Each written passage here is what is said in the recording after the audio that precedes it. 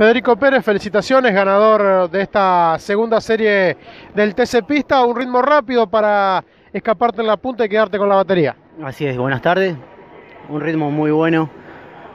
No nos alcanzó, pero bueno, así son las carreras, no siempre se puede ganar. Obviamente que esto nos, nos motiva a seguir laburando. La verdad que tengo un excelente auto, estamos muy cómodos en lo que fue la carrera, así que a laburar a lo que va a ser mañana.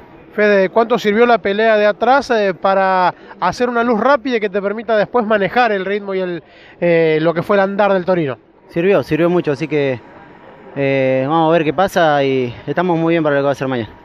Pensando en mañana, ¿algún cambio que quieras hacer en el Torino? Se va a trabajar un poco en el ritmo del auto.